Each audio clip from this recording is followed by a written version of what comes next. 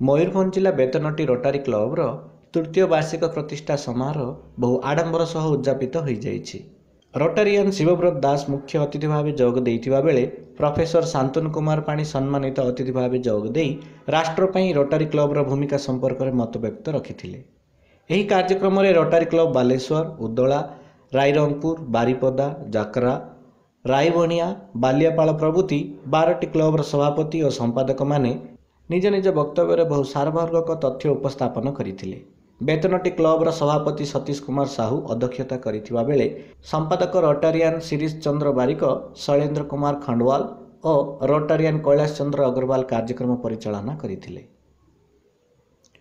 ମୟୂରଭଞ୍ଜରୁ ଘାସିରାମ ବେହେରାଙ୍କ ରିପୋର୍ଟ ଉତ୍କଳ ଖବର।